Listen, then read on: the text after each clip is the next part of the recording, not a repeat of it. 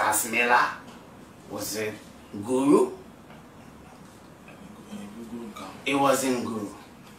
Was it Sarkodie? Was it EL? We don't know. But Gasmilla says it's him. And so Sarkodie needs to consult him before he makes any move. We have had quite a couple of features, international and beyond. Shatta Wale and Beyonce had a track on the Lion King album. CJ Biggerman met a bigger version of himself, Rick Ross, and they rapped together. Posse G tells us that Sarkodie is about to feature an artist bigger than Jay-Z. Could be Jesus Christ, I don't know. We have also witnessed the holy matrimony of Medikal and Fella Makafui.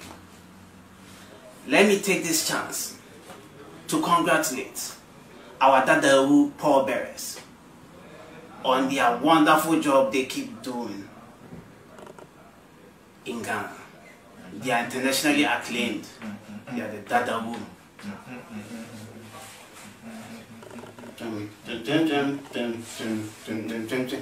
And that is the Dadawu dancers. On behalf of me and my beautiful wife, Rebecca, we want to wish you all a happy program. And my interpreter, we would like to wish you all a happy program. We know how to create and reward hit songs. What we do not know is bringing back dead fans. So please stay home and enjoy this.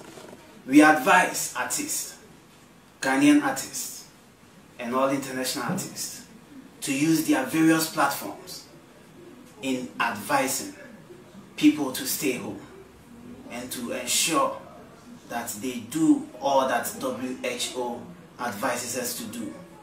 Wash your hands, use sanitizers, ensure social distancing. Because we know how to create and reward hit songs. What we do not know is to bring back dead fans. Mindaneshi, Nagode, Midamwase, Akwe, and now let me introduce your host, Jay Foley and Naa Ashorkor.